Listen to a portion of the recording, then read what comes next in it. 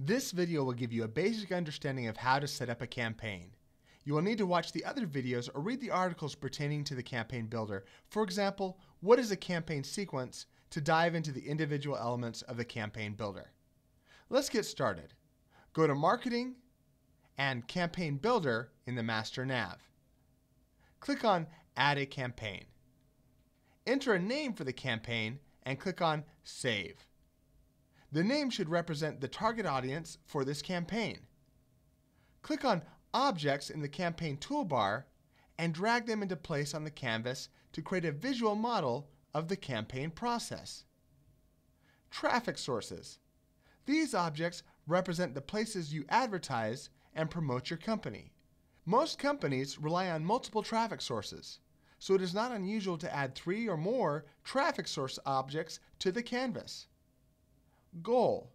The next objects are generally goals that represent lead capture strategies, like free reports, webinars, etc.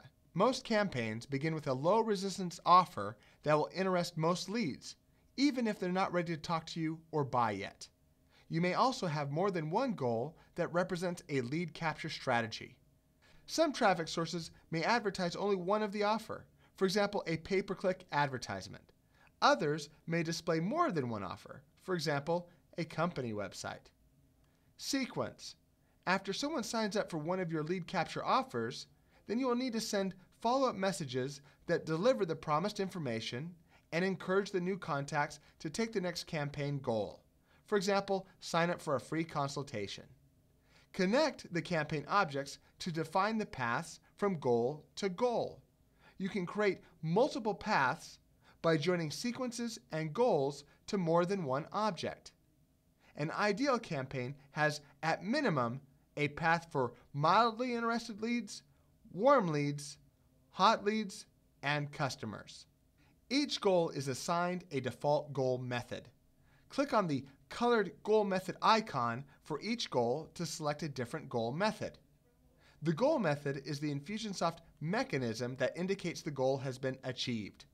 If you choose a new goal method, click on it to apply the update. As an option, mark the Set as Entry Point option if it is okay for contacts to jump into the campaign at this point, even if they haven't been through any previous sequences. When you select this option, the entry point icon is added to the goal. Double click on each campaign object to customize it. You can work sequentially from left to right or customize sequences and then goals.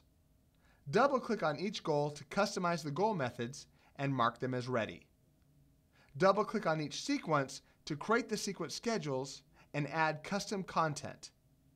Create the minimum required content for you to launch the campaign. You can continue to add sequences and improve the sequence content after the campaign is live.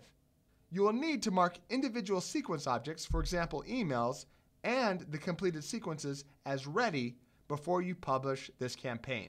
Click on Publish. Review and approve the ready items that have not yet been published. Click on Publish again to confirm approval. The Publish campaign is active, and the sequence items that are marked as ready will be sent whenever a goal is satisfied.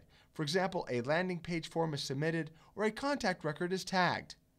Click on the Live View tab to see the current published version of the campaign. As a side note, this view does not tell you which individual sequence pieces are ready. You must click into individual sequences to view the status of individual communication pieces.